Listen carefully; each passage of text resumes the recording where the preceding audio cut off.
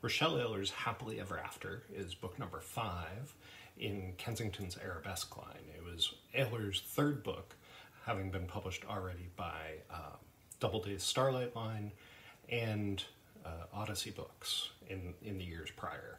Um, this is a second chance secret baby book, so buyer beware. Um, but again, it's a great artifact of the 1994 black romance boom, and highly recommend checking Rochelle Alers out, who is still writing today and has written dozens of uh, both romance and women's fiction books.